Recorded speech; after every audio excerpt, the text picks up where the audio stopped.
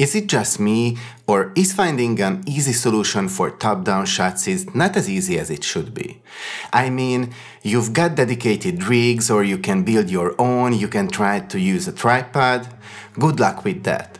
Or, what I'm about to show you is the most simple and easy to use yet budget-friendly setup I could come up with.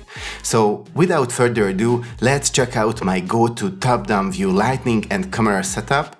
But first, Intro.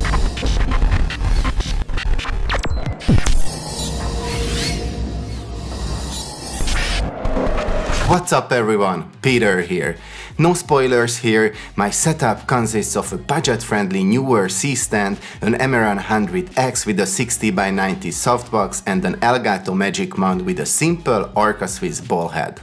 I give you the reveal why I chose the Neewer C-stand at the end of the video, but let's start with the light.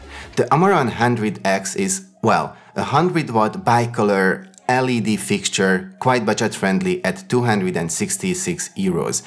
With a stunning brightness, flexible color temperature and you can control it with the Sidus Link app. It perfectly aligns with the Aputure line of fixtures and can be used way beyond being a top-down light, making it ideal for content creators, portrait photographers and basically any kind of video production. When it comes to lighting, output is like horsepower. As I said, the Amaran 100X is a 100 watt COB LED output which produces shockingly twice as much illuminance than the 100 watt tungsten Fresnel light. It also features a 0 to 100% dimming control. Does color accuracy matter to you?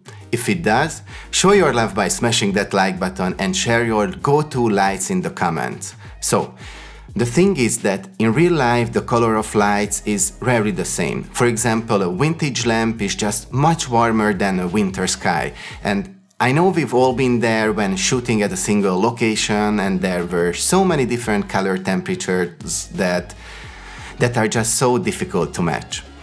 The Amaran 100X solves this with a simple turn of a dial that lets you set any color temperature between 2700 Kelvin to 6500 Kelvin. This flexibility guarantees not only easy color matching but also the ability to think creatively, making each scene look best. Going deeper, we all have experienced tinting or green hues. If you haven't, you will. If you did, let me know down in the comments what happened and what did you do to avoid it or to solve it. We all need accurate lighting. Aputure and Amaran lights provide just that. Scoring 65 plus TLC and CRI accuracy is guaranteed.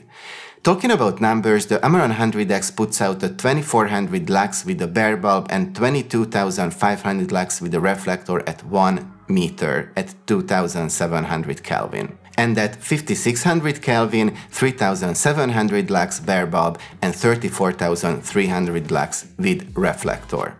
Hey, I just realized we haven't done a proper unboxing and checked the build quality, but if you watched so far, I'm sure speed and portability matters to you as well. Even though the Amaran line is plastic, it is quite durable and only weighs 3.5 kilograms. It has a built-in fan to ensure that the LED remains cool no matter how long your shoot goes on.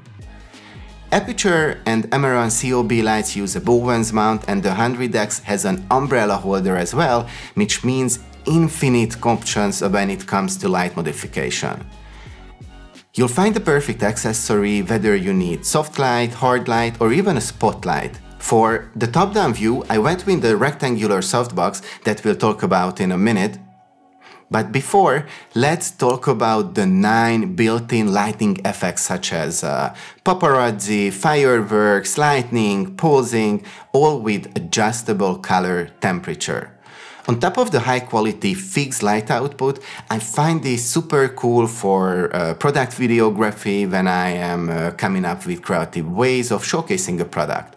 Of course, I need an easy way to control them. While The screen with the two knobs are just straightforward. When I have uh, positioned it up on the C-stand, it is literally impossible to reach them or would make it so much work and time. This is where my favorite lighting app uh, comes into the picture, Sidus Link. Thanks to its mesh technology, every light in the Aputure and Amaran series will automatically connect. You can not only control the basic functions with ease, but create scenes and presets. Okay, now let's talk about the softbox of my choice for the top-down view, which is the Aputure Light 60 by 90.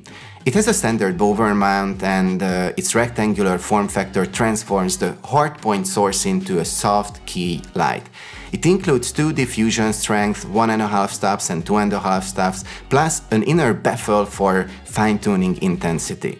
It also comes with a 45 degree grid allowing to control the spread directly to the subject. Weighs only 1.2 kilograms and comes with a soft case and has 4 rod construction, which is the only con for me since I hate assembling those.